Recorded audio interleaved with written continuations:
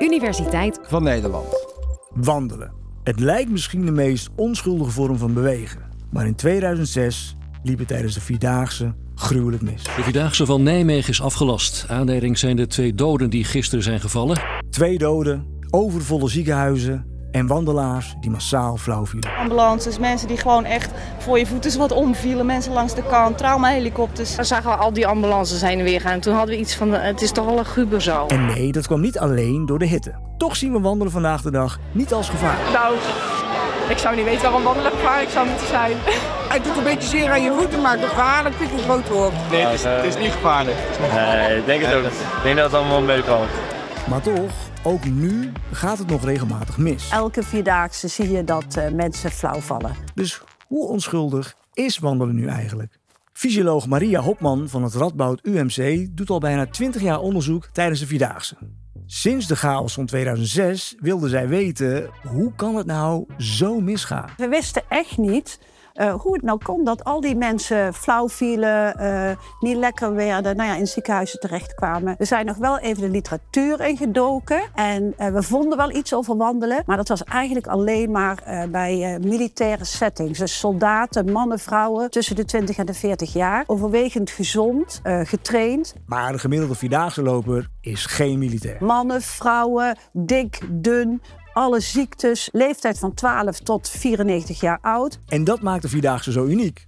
Nergens anders krijg je zoveel gewone wandelaars, van jong tot oud, bij elkaar onder allerlei verschillende omstandigheden. Je hebt een enorme uh, grote groep mensen, dus uh, ruim 45.000 wandelaars. Allerlei weersomstandigheden. We hebben temperatuur gehad boven de 30 graden. We hebben vierdaagse gehad die best koel cool waren. Een unieke kans om zoveel gegevens over wandelen te verzamelen. Maria had drie vermoedens waarop het mis kon gaan. En dat is raken wandelaars oververhit, raken wandelaars uitgedroogd of is het een te grote belasting voor het hart voor sommige mensen als je 10 of 12 uur op een dag moet wandelen. Het eerste vermoeden over verhitting kon al snel van de lijst. Dat hebben we eigenlijk in alle jaren bij de Vierdaagse dat wij onderzoek doen nog niet gezien. Dus wat wij eigenlijk zagen bij verschillende omgevingstemperaturen, dus of het nou 20 graden was, 25 of 30 graden, dat de lichaamstemperatuur van de wandelaar ongeveer met 1 graad stijgt. Niets om je medisch zorgen over te maken. Uitdroging komt juist veel voor.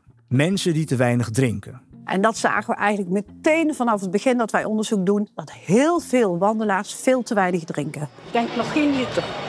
Hoeveel water heb ik gedronken? Um, Oei, ja, dat is een goede vraag. Dat is vandaag echt te weinig geweest. Ik denk uh, anderhalve liter maar. We zien dat zo'n 20% met uh, uitdrogingsverschijnselen over de finish komt. Nou, 20%, dat zijn er dus ongeveer 9000. Ja, dat is een enorme aantallen. Het feit dat honderden mensen langs de weg lagen en flauwgevallen waren... heeft waarschijnlijk te maken gehad met de uitdroging.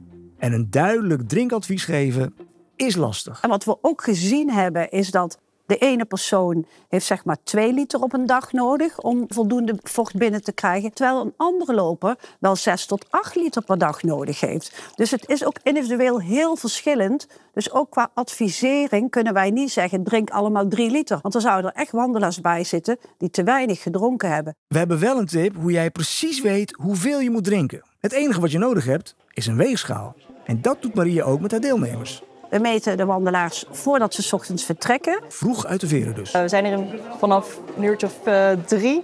Ja, mag erop komen staan hoor. Snel wegen en dan snel door naar de start. We, ja, mogen, we, mogen, we mogen weer.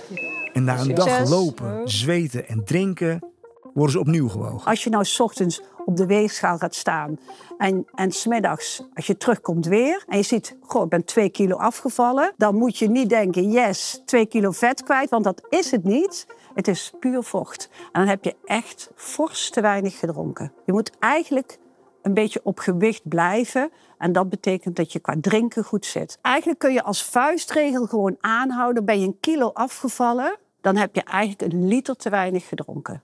Maria kijkt ook naar de urine. De urine moet eigenlijk heel licht van kleur zijn. Licht geel, uh, uh, wittig, doorzichtig. Wij zien hier mensen die komen aan het einde van de middag... en die urine, dat is donkere thee soms bijna tegen de koffie aan. Nou, dan weet je echt veel te weinig gedronken. En ze prikken bloed. Wij kijken naar de zoutconcentratie in het bloed. En dan zien we ook dat het zoutgehalte in het bloed dat er enorm opgelopen is. En dat betekent ook dat mensen uitgedroogd zijn. Uitdroging komt dus veel voor en is meer dan alleen dorst. Het heeft gevolgen voor je hart en je hersenen. Water, dat wat je drinkt, gaat via je maag je darmen in en wordt vanuit je darmen opgenomen in je bloedbaan. En daarmee houd je je bloedvolume op peil. Jouw bloed bestaat uit bloedcellen en bloedplaatjes, maar ook uit plasma. Oftewel vocht. Vocht dat je kwijtraakt door te zweten en moet aanvullen door te drinken. Als je uitgedroogd bent, dan zou je, kun je het beste voorstellen, dan wordt eigenlijk je bloed wat dikker. Dus eigenlijk dikt je bloed een klein beetje in. Dan heeft het hart wat meer moeite met bloed rondpompen. En dat maakt het moeilijker voor het lichaam om de bloeddruk op peil te houden. En de bloeddruk is bepalend voor je hersendoorbloeding. En als je hersendoorbloeding afneemt, ja, dan val je flauw. Je lichaam probeert dat in eerste instantie te voorkomen en je bloeddruk zo goed mogelijk op peil te houden. Het hart gaat dat compenseren door sneller te pompen. Dus je hartfrequentie gaat meer omhoog. Stel je wandelt normaal met een hartfrequentie van 110 of 120 slagen per minuut. Dan bij uitdroging wandel je op 10 slagen hoger per minuut. Bijvoorbeeld 130 slagen per minuut. En dat voelt ook als zwaarder. En je hart moet dus ook harder werken. Gelukkig staat je hart er niet alleen voor en krijgt hij hulp. En verrassend genoeg komt dat vanuit je benen. Je beenspieren zijn je tweede hart. Het is ook een pomp. Dus je beenspieren contraheren, die, die trekken voortdurend samen bij elke stap. En elke stap duwen ze het, bloed terug naar het hart. Maar op het moment dat je stil gaat staan, bijvoorbeeld omdat je uh, een weg over moet steken of omdat het te druk is op de route of wat dan ook. Op het moment dat je stil staat, dan doet die, die, uh, die spierpomp doet het niet. En dat is juist het risico. Dan wordt het hart onvoldoende gevuld, bloeddruk daalt en je valt flauw. Dus altijd blijven marcheren op de plek, nooit stil gaan staan, want dat is het risico op, uh, op flauwvallen groot. Flauwvallen is een serieus signaal dat je uitgedroogd bent en dat je bloeddruk te laag is. Dat kan, in uiterste gevallen, uiteindelijk alsnog leiden tot oververhitting. Omdat je op een gegeven moment niet meer voldoende vocht hebt om goed te transpireren. En dan zie je dus dat de lichaamstemperatuur, als jij dan blijft hardlopen of wandelen of wat dan ook, dat die lichaamstemperatuur snel op gaat lopen. En dat kan ook gevaarlijk zijn. Aan een lichaamstemperatuur boven de 42 graden ga je dood. En daarvoor hoeft het dus helemaal niet extreem warm weer te zijn. Maria verwacht dat uitdroging ook problemen kan veroorzaken voor het hart. Dat het hart toch minder goed gevuld wordt. Het hart harder moet werken. Dus het is echt wel een extra belasting op het hart. Uitdroging zou zeker ook een trigger kunnen zijn voor hartritmestoornissen. Dit jaar duikt Maria nog dieper in dat hart. Met slimme hartstickers meet ze het hartritme van wandelaars die wel eens last hebben van boezemfibrilleren. Een veel voorkomende hartritmestoornis. Ja, even kijken of die nog goed zit. Ja, ja.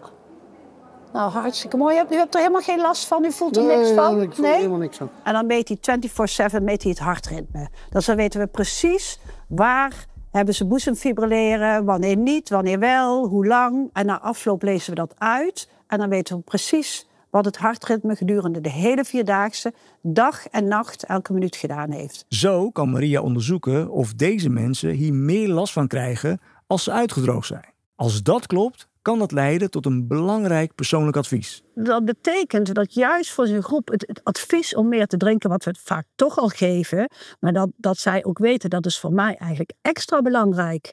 Want het, het kan echt een trigger zijn. Dus zeker uh, komen daar hele praktische adviezen uit op het moment dat wij de resultaten uh, op een rijtje hebben. En ook voor mensen zonder klachten is het cruciaal om genoeg te drinken. Voldoende vocht houdt je hart gezond en kan mogelijk hartritmestoornissen voorkomen. Je moet echt drinken voordat je dorst krijgt. Als je pas gaat drinken als je dorst hebt, ben je eigenlijk te laat. En omdat er dus geen standaard advies is van hoeveel je moet drinken, is het ook vooral belangrijk om je eigen drinkgedrag te oefenen. Hou bij hoeveel flesjes je drinkt en weeg jezelf tijdens trainingen. Net zoals Maria's deelnemers. En zo krijg je inzicht in, ja, ben ik nou een iemand die uh, 6, 7 liter moet drinken of kan ik het prima met uh, 2 liter? En dat hangt wel heel erg af van de weersomstandigheden. Als het met name ook de luchtvochtigheid hoog is, dan moet je ook echt meer drinken. Dus uh, je, je, moet dat bij verschillende weersomstandigheden uitproberen. Zorg ook voor wat extra zout. Zouten in je bloed houden weer wat vocht vast. Hè. Dan scheiden je nieren wat minder vocht uit. Dus dan hou je wat meer vocht in de bloedbaan. En dan hoef je niet de hele dag door zouten drop te eten. Maar af en toe is een zout dropje of een kop soep of een zakje chips. En als jij een persoon bent die veel zweet, dan moet je ook even opletten. Als je nat shirt, natte rug, uh, zweet van je hoofd drupt, dan weet je, joh, ik ben echt ontzettend veel vocht aan het verliezen. Ik moet echt veel drinken. En zie je toch iemand van zijn stokje gaan en flauw vallen? Dan moet je altijd zorgen dat je iemand opvangt. Want de klap is het natuurlijk, kan, kan heel vervelend zijn. Maar als je eenmaal ligt, dan is er eigenlijk niet zoveel aan de hand. Het fijne is dat je dan horizontaal ligt. Dan heb je het voordeel van de zwaartekracht. dan gaat er meer bloed naar het hart en makkelijker naar je hersenen. En als je dan ook nog even de benen optilt, dan vul je het hart goed en dan lost het probleem zich weer op. En dan alsnog drinken en een kop bouillon nemen voor het zout.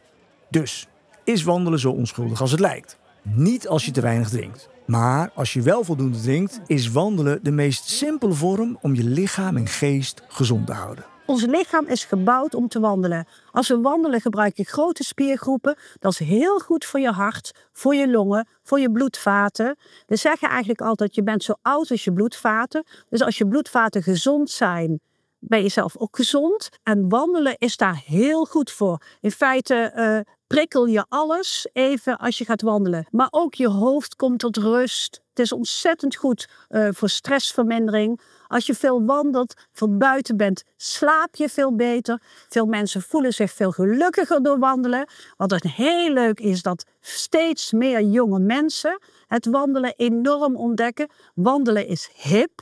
Ja, dus ja, ik ben een absolute ambassadeur van het wandelen. Ja. Het kan dan ook niet anders dat Maria zelf ook een dagje meeloopt. Maar uh, even tussen jou en mij, Maria. Uh, drink je dan wel voldoende? Ja, ik zorg wel dat ik een paar flesjes bij me heb en dat ik die vaak vul. Ja, ik let daar zeker goed op. Bedankt Maria voor je waardevolle inzichten. En jij luisteraar, trek vooral je wandelschoenen aan en vergeet niet, drink bewust. Tot de volgende! Hoi, ik ben Eliane van de Universiteit van Nederland. Krijg jij geen genoeg van wetenschap? Schrijf je dan in voor onze nieuwsbrief. Dan mis je nooit iets en delen we nog meer interessante inzichten met je. Zet je nieuwsgierigheid aan en schrijf je in via de link in de beschrijving. Tot de volgende!